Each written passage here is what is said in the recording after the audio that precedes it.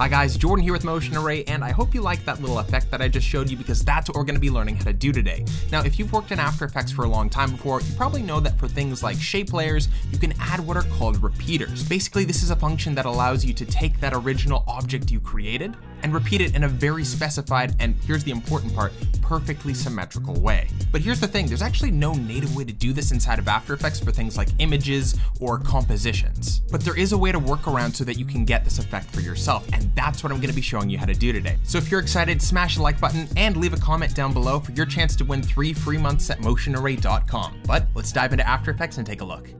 Okay, so the first thing that you wanna do is place down the item onto your timeline and it's a shot that I already keyed out and exported with a transparent background. If you needed help with all of that, we have tutorials for each of those steps along the way, green screening, exporting with a transparent background, etc. But this is similar to what you'd get if you downloaded a stock motion graphic item with a transparent background. Like this is one that I downloaded here from Motion Array for example. Okay, so I'm going to create a new composition based off of this clip, and then I'm immediately going to pre-compose it. The reason we're doing this is because when we want to repeat this object later, if we wanted to make any changes to our object, we only have to make them once rather than for every single duplicate. And if you wanted to make your life even easier, you can click on this region of interest box here, and then click and drag over top of your item, so that it only houses the element and not the empty space around it. Then go up to Composition, Crop Comp to Region of Interest. This will just help to make things a little bit cleaner. Now press the Tab key to bring up your composition flowchart, and just select the previous composition to get back to square one. Now let's create a new null layer by right-clicking here in the empty space, and choosing New, Null Object. Name this whatever you want, but I'm going to call it Spread Controller. Next, let's go over here to our effects and presets and search for slider control. Drag and drop this onto your null object called controller. Now here's where we actually start to create the effect. First of all, decide what kind of a movement you want to repeat. Do you want it to repeat linearly, in a straight line? If so, choose position. And if you wanted to create a circular shape like this, you're going to be choosing rotation. This is the effect that I'm personally going to be going for. So I'm going to go to the rotation parameter and hold Alt or Option and click. This allows you to enter a custom expression and we're going to tell our object to do something very specific. We're going to drop down our controller layer until we get to effects and our slider controller. And we're going to click on this little spiral here on a rotation parameter and drag it over top of the slider effect. Great. Now what you should get is that your object's rotation is being controlled by the slider here under your controller layer. This is a great start. But how do we get multiple elements? Well, thankfully, it's really simple. All we have to do is add one little thing after this expression here. Click on this region to highlight it, and then click on the very end and add this, star index. That's it. So what does this do? Well, it tells After Effects to recognize this object as part of a sequence, basically giving it a number and a position based on the numbers you see here on the left-hand side. So now let's highlight our object and duplicate it by hitting Control or Command D. So now you should see nothing different. But now if we take our slider here and increase or decrease it, you should see your items fanning out and rotating around the center. This is close to what we want, but not quite. You know how if you hold a deck of cards and you want to fan it out, you don't hold it from the center, you hold it from the corner? Well, that's what we're going to do. Now that you see how this is going to work, delete all of the objects except for the bottom one. And now let's move the anchor point by selecting your anchor point tool, shortcut key Y, and click and drag the anchor point of your object to the point around which you want to fan it. Then I'm just going to decrease the scale a bit and move its position so that it actually has room to rotate around in a circle. If you were to create a circular ring with your objects, the anchor point would be the exact center of the circle. So now let's duplicate these again and see what happens. There we go, we have an awesome looking spread effect of our objects, just by changing the slider amount here. Nice and easy. And we can try to dial in exactly how we want it to look. And once you get it to the point that you want it, you can actually keyframe this amount to start at zero and then increase or decrease to the amount that you want. But if you're going for the look where everything is perfectly equally spread out from each other, there's an easy way to figure this out and get it exact. With each different number of objects, you'll be creating a different shape. So three objects would get you a triangle, four objects would get you a square, 5 a pentagon, 6 a hexagon, etc. Take the angle of one of those corners, so for a triangle it's 60 degrees, and subtract 60 from 180. This leaves you with 120, which is the number that you key in. For a square, it'll be 90. For a pentagon, it'll be 72. For a hexagon, it'll be 60. You get the idea. And if you didn't want to do any math, then I'm going to leave you the number to key in for up to 10 objects. But now here's the thing. If you want to create just a nice spread and you're having trouble with your objects moving with the spread, you just want your original top object to stay where it is and have everything else move around it, all you have to do is add a second slider to your controller null. Then let's delete all of the objects except for the base one. And in the expression for your remaining object, add this to the end. Plus, and then without clicking out, pick whip this spiral to the new second slider. Perfect. Now you can dial in the amount for this second slider to compensate. And I'll give you a hint, it's probably going to be a multiple of whatever you keyed into the first slider. So if you have three objects in a triangular shape with 120 on the first slider, try 120, 240, 360, etc. Or if you find it's going the wrong way and increasing the speed, try keying in the negative value. Negative 120, negative 240, you get the idea. Once you find out that multiple of how much you have to compensate, for me, it's 240, so that's two times the original. Pick whip the second slider to the first slider.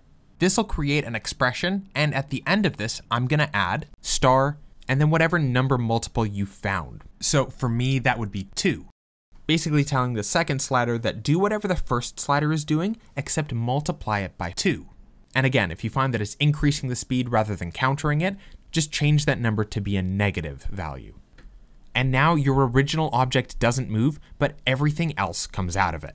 And what's more, anytime you try and move the first slider, the second slider will now automatically keep up with whatever it needs to to keep your original in the same spot. This has some really cool additional benefits like letting you add an easy ease in or out, and the whole animation respecting that without having to make any other changes. Okay, so what are some of the other reasons that this is a great method to do this? Well, let's say that you wanted to offset some of the animations of some of these objects. Say you didn't want these all to be perfectly timed, but to have the animation slightly offset so that it doesn't look like a perfect mirror. You can actually move these compositions in time. So now they start and end in different places within their respected animation, but overall the animation we created isn't impacted at all. It's so cool. Okay, so we've created a perfect circle, but now let's say that we wanted to create a spread so that if you had an odd number of items, let's say you wanted the middle one to be the one that stays in front. All you have to do is go down to your second slider expression and change this multiple to one less than the total number of items. So if you have five items and you wanted to keep the center one, that would be five minus one, which is four. And then we get something like this. Awesome. But now what happens if you want the middle item to be at the very top and have everything else be behind it? Maybe, for example, you wanted there to be a little bit of overlap in between all of these, and so it becomes really obvious that the middle centered item isn't the one at the very top. I'm going to walk you through that process, although fair warning, it is a little bit more complicated. Break your shot up into two components. If you have five objects, you'll have three that look like this, and another three that look like this. To do that, simply delete objects until you're only left with three, or however many you want to be on one wing of this animation. And then adjust your slider multiple so that the topmost one stays where it is. This will be one wing. Highlight all of these and go to Pre-Compose. And label it left wing or right wing or whatever wing of this animation it is for you. Now go to this new composition and highlight all of these and copy them with Control or Command C. Then go back to your main composition and paste these back and invert the process. And I'm just going to quickly hide this first wing so it's not distracting. Delete the top two objects and make a negative before the expression on your object layer. And if you already had a negative in the original, delete it to make it positive. And duplicate your object another two times you should be left with your object spreading in the other direction. but it'll probably be off by just a tad, so change your second slider multiple to be negative, and if it's already negative, get rid of that to make it positive. Now it's going the opposite direction, but with the correct cup still on top. And now when we turn on our other wing, we can see that the animation looks great. But to clean it up a little bit more, pre-compose this set as well, and label it to be right wing or whatever opposite label will help you to distinguish this. Now you can play back your footage and see this delicious final result. And if you like the animation but you don't like the final orientation of your grouping, you can add a new null object and parent both of these wing compositions to follow your null. Now change your null's position, rotation, and scaling to your liking. So now we have this awesome looking spread effect. And this is a great opportunity to highlight maybe my favorite part of using this process. I actually don't like the angle that each of these cups are at. And there's a really easy way to change them all at the same time. Go back to the base cup layer that we first started with. You can find it in your project or you can just dive into multiple compositions all the way down until you reach it. And here we can just change this original cup to have a different orientation to make it look exactly the way we want. And as long as we make sure that the object isn't leaving the boundaries of the frame, when we go back to our main composition, we can see that everything updates in real time and the animation remains perfectly intact. This is so awesome. But this has an even deeper purpose than just retweaking the angle or size of your objects.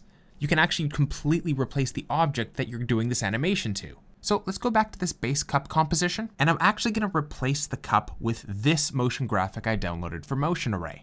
And instead of placing down this other motion graphic on top and deleting the cup, you can actually just replace it in one fell swoop. Make sure that your original cup layer is highlighted, and then hold Alt and click and drag this new motion graphic on top of the old one. And there we go, it replaces it and actually maintains the position, scale, rotation parameters that we originally made to it. But I'm actually gonna change mine here a little bit. I'm gonna reframe it so that it's in the center. You can use these align tools here to help make it perfectly centered. And then I'm just gonna decrease the size here. And now when we go back to our main composition, we can see that our animation remains perfect, except it's just happening with a different object. This is so cool. And if you wanted to even add some further polish, you can nest all of these together into a final composition and then add some flair like a layer style drop shadow. Turn it into a 3D layer and add a camera that moves to make it look like the objects themselves are moving. And you can end up with something like this.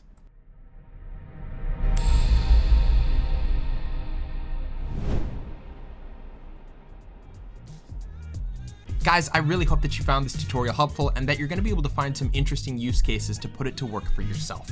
Like I mentioned at the beginning, if you wanted to win three months free at motionarray.com, all you have to do is leave a comment. And next week, I'm gonna be choosing one lucky winner to get a free three month subscription. Tell me what situations you would use this effect for. But guys, that's it for me. Thank you so much for watching, I can't wait to see you in the next one. Bye.